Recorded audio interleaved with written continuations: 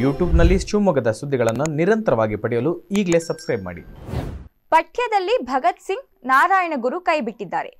ಹೆಡಗೇವಾರ್ ಸೇರಿಸಿದ್ದಾರೆ. ಎಂಬಿತ್ಯಾದಿ ವಿಷಯಗಳು ಕುಡಿದು ತಿಂದು ರಸ್ತೆಯಲ್ಲಿ ಬಿದ್ದಿರುವ ಬುದ್ಧಿಜೀವಿ ಅಥವಾ ವಿಚಾರವಾದಿಗಳ ಸೃಷ್ಟಿ ಎಂದು ಶಾಸಕ ಕೆಎಸ್ ಈಶ್ವರಪ್ಪ ಹೇಳಿದ್ದಾರೆ. ಇವರ ಹೆಸರುಗಳನ್ನ ಕೈ ಬಿಟ್ಟಿರುವುದಾಗಿ ಅವರಿಗೆ ಹೇಳಿದ್ದು ಯಾರು? ಹೆಗಡೆವಾರ್ ಹೇಳಿದ ಒಂದೇ ಜಾತಿ, ಒಂದೇ ಸಮಾಜ ಎಂಬುದನ್ನ ನಾರಾಯಣ ಗುರುಗಳು ಹೇಳಿದ್ದಾರೆ. ಭಗತ್ ಸಿಂಗ್ ಆಜಾದ್ ದೇಶಕ್ಕೆ ಸ್ವಾತಂತ್ರ್ಯ ತಂದುಕೊಟ್ಟವರು. ಅವರನ್ನ ಕೈ ಬಿಡುವ ಪ್ರಶ್ನೆ ಇಲ್ಲ ಎಂದರು.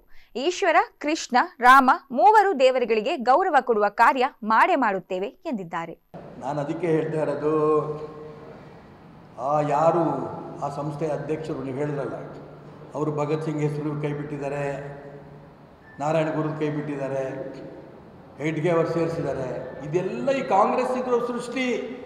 ಈ ವಿಚಾರವಾದಿಗಳು ಅಂತ ಅಂದ್ಕೊಂಡಿದ್ದಾರಲ್ಲ ಒಂದಿಷ್ಟು ಜನ ಬೇರೆ ಉದ್ಯೋಗ ಇಲ್ಲ, ಕುಡಿದು, ತಿಂದು, ಬಗ್ಲಲ್ಲಿ ಒಂದು ಬ್ಯಾಗ್ ಹಾಕ್ಕೊಂಡು ರಸ್ತೆಯಲ್ಲಿ ಕುಡ್ಕೊಂಡೋಗಿ ರಸ್ತೆಯಲ್ಲಿ ಬಿದ್ದಿರ್ತಾರಲ್ಲ ಅವ್ರದ್ದು ಸೃಷ್ಟಿ ಇದಲ್ಲ.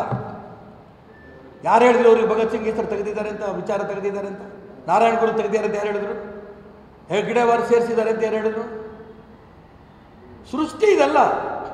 ಈ ಸೃಷ್ಟಿ, ನಾನು ಹೇಳ್ತೀನಲ್ಲ ನಾರಾಯಣ ಗುರು ಒಂದೇ ಜಾತಿ, ಒಂದೇ ಮತ, ಒಂದೇ ಧರ್ಮ ಅಂತ ಇಡೀ ಸಮಾಜವನ್ನು ಹೆಡ್ಗೆವಾರ ಹೇಳಿದ್ರಲ್ಲ, ಅದೇ ವಿಚಾರವನ್ನು ಇಟ್ಕೊಂಡ್ಬಂದರು ನಾರಾಯಣ ಗುರು. ಅದನ್ನು ತೆಗೆಯೋ ಪ್ರಶ್ನೆ ಉದ್ಭವ ಆಗಲ್ಲ. ಭಗತ್ ಸಿಂಗ್, ಚಂದ್ರಶೇಖರ್ ಆಜಾದ್, ಇವರೆಲ್ಲ ಏನು ಈ ದೇಶಕ್ಕೆ ಸ್ವತಂತ್ರ ತಂದುಕೊಟ್ಟವ್ರು? ಅವ್ರ ಹೆಸರು ಯಾಕೆ ತೆಗಿಬೇಕು? ಆ ವಿಚಾರ ತೆಗಿಬೇಕು, ಯಾಕೆ ತೆಗಿಯಲ್ಲ? ಇವ್ರು ಸೃಷ್ಟಿ ಮಾಡ್ತಾರೆ ಬೇರೆ ಬೇರೆ, ಅವರಲ್ಲೂ ಹೊಡೆಯೋದು ಮಹಾಪುರುಷರನ್ನು ಹೊಡೆದಾಕೋದು ಇದು ಯಾವ ಕಾರಣಕ್ಕೂ ಈ ಕಾಂಗ್ರೆಸ್ನ ಕುತಂತ್ರ ಯಶಸ್ವಿ ಆಗಲ್ಲ? ನಾ ಹೇಳ್ದನಲ್ಲ.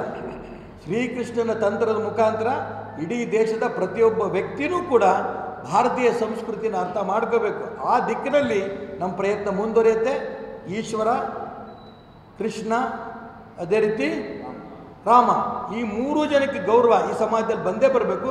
ಬರುತ್ತೆ. ಈ ಕಾಂಗ್ರೆಸ್ನವ್ರು ಏನು ಹೇಳ್ಕೊಂತಾರೆ ಪ್ರಶ್ನೆ ಬರಲ್ಲ. ಈ ರಾಷ್ಟ್ರದ್ರೋಹಿ ಮುಸಲ್ಮಾನರು ಯಾರು ಕೆಲವರು ಇದ್ದಾರೆ ಅವ್ರು ಮಾಡೋದಕ್ಕೂ ಏನೋ ಇಲ್ಲಿ ಇಲ್ಲಿ ಬೇಳೆಕಾಯಿ ಬೇಳೆ ಇಲ್ಲ.